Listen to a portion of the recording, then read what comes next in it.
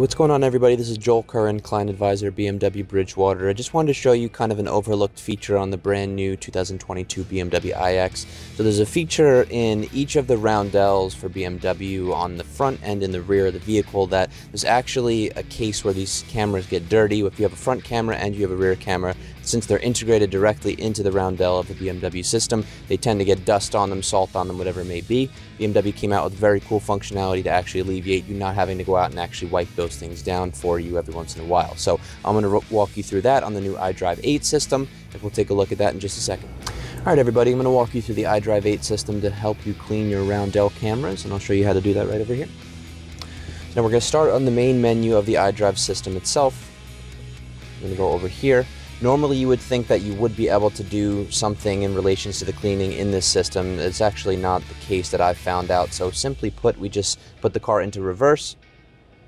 Cameras are going to pop up over here. Obviously rear view camera on the left, surround view camera on the right side. And on the left side, you're going to have a panel that says assist view, panorama view, and then more. So we're going to just scroll down to more, click onto that.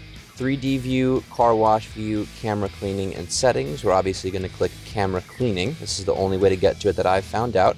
Then you have front and rear at the same time, front or just the rear. Now, for demonstration purposes, I'm just going to click front and rear, and it's going to do both of them at the same exact time, and we'll get a little video on the outside of how that works. And that's what it looks like on the inside. A couple little sprays, and you're all clean.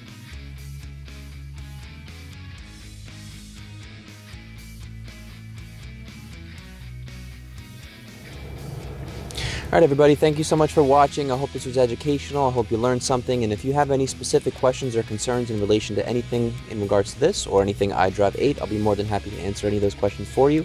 Once again, my first name, Joel, BMW Bridgewater, McLean Advisor over here. I'm happy to help.